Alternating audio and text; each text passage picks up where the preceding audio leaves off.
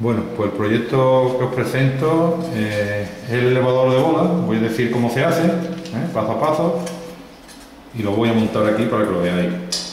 Lo primero que tenemos que tener es eh, estas maderas que son las que, las que suben y bajan las bolas, que son desde 4 centímetros en adelante. Yo lo he puesto de esta medida, el ancho, cada cual coge el ancho que quiera, pero después va de un centímetro en un centímetro una más grande que otra.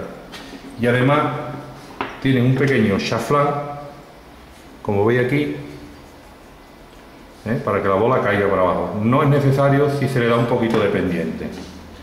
Bueno, teniendo las medidas de, todas de todas las tablitas, de todo lo, lo que va a elevar las bolas, las bolas, hacemos el cajón donde van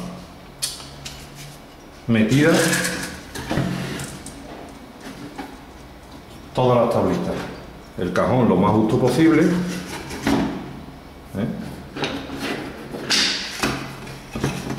Lo vamos a ir metiendo todas las tablitas numeradas de menor a mayor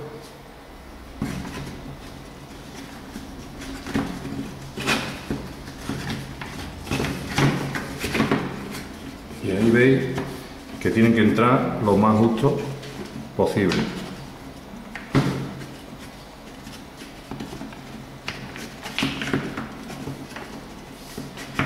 Justo, justo, no, no consigo meterla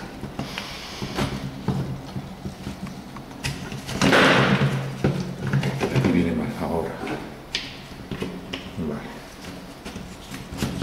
ahí está bueno, vemos que sube y bajan bien ¿vale? y ahora, ¿cómo he hecho lo demás? bueno, pues las levas que suben y bajan ¿eh? los tacos de madera están hechos con eh, contrachapado de, de, de 5 milímetros, de 8, perdón. Son contrachapados cortados la sierra de corona. ¿eh? Y después lo que lleva es un taladro en el lateral, un poquito más arriba del agujero del centro, que es donde va el eje de las levas. Las levas van puestas de tal manera, una arriba, una abajo, una arriba, una abajo, una arriba, una abajo, una arriba, una abajo.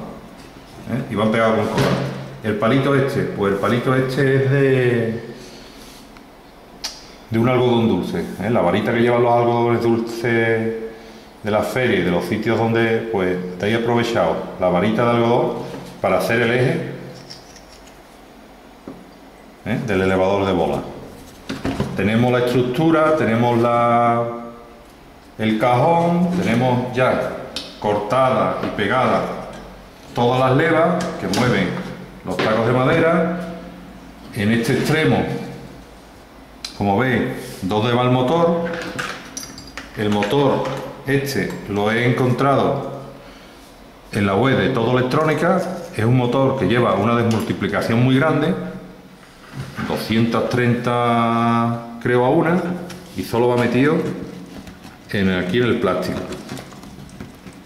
va aquí pillado y con el mismo como es elástico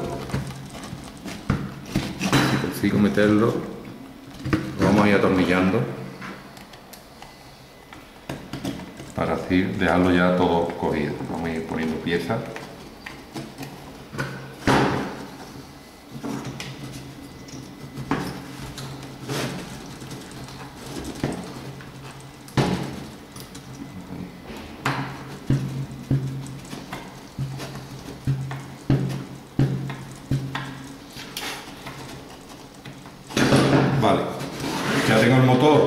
como he dicho, lo he comprado en la web de Todo Electrónica, ¿eh? un motor con unas prestaciones muy buenas, porque lo he hecho funcionar, en el vídeo lo tenéis con la placa solar fotovoltaica, y aquí ahora cuando lo acabe de montar lo voy a hacer funcionar con 5 voltios de una fuente de alimentación.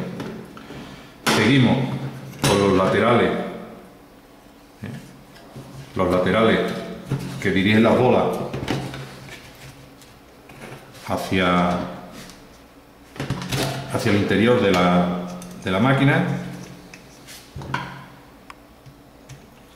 Ya lleva incorporado, ya le he puesto el timbre para que suene y el laberinto para frenar un poco las bolas. Simplemente va cogido con un tornillo ahí, como veis, y otro aquí. Se lo voy a coger un poquito en el lateral. Nada más. Ya tengo uno.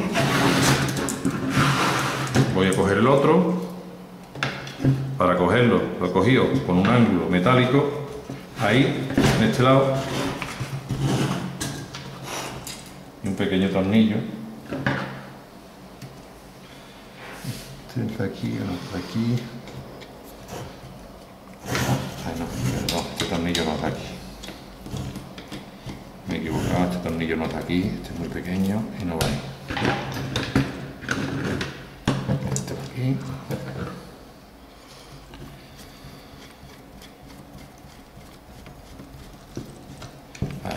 se va. Lo he cogido de otra manera. Esto está hecho con contrachapado de 4 y de 8 milímetros. ¿eh? Es preferible hacer todo el, cajón con, todo contrachapado de 8 milímetros para después poder atornillar bien todo lo que todas las piezas estas. Bueno, ya va cogiendo forma. Le vamos a poner el selector de bola, la pieza esta, lo que hace que la bola al caer me la dirige a un lado y la siguiente al otro. A un lado o a otro. ¿eh? Es muy fácil, dirijo la bola y esta piececita en forma de T es la que me dirige a un lado y otro. Va colocada simplemente aquí arriba con dos tornillos.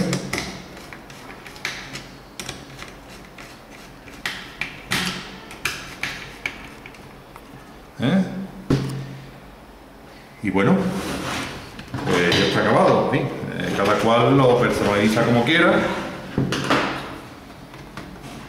Lo puede personalizar como quiera, lo puede. Bueno, le he pintado de colores para que quede más bonito. Lo vamos a probar. Cojo, lo alimento a 5 voltios.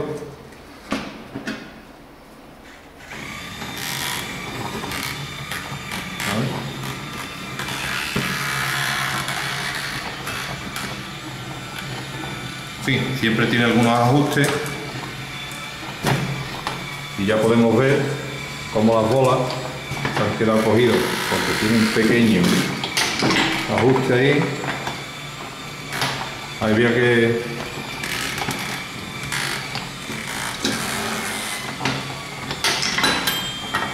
que ajustarlo un poquito mejor ¿eh? para que ande porque roza pero vamos a partir de aquí, si vemos,